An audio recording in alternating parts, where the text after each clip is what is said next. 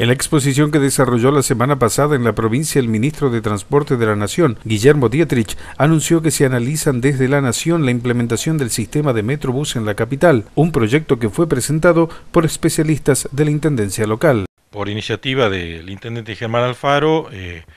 una serie de eh, especialistas que nosotros tenemos en la materia de transporte público eh, en la ciudad de Tucumán, eh, se ha evaluado una serie de propuestas que hoy están en consideración de la Nación y a partir de ahí, bueno, obviamente una evaluación de cuál es el, mejor sistema para aplicar, porque esto significa afectar calles, este, situaciones de exclusividad y que eh, viene a, plantear un problema que es muy grave, porque nosotros tenemos una concentración muy fuerte en lo que es el microcentro y eso trae aparejado una complicación grande respecto al tránsito. Y esto eh, genera que el transporte público no pueda cumplir muchas veces con los horarios picos con la frecuencia correspondiente. Así que en este sentido ya el estudio se está haciendo, la idea es que la Nación,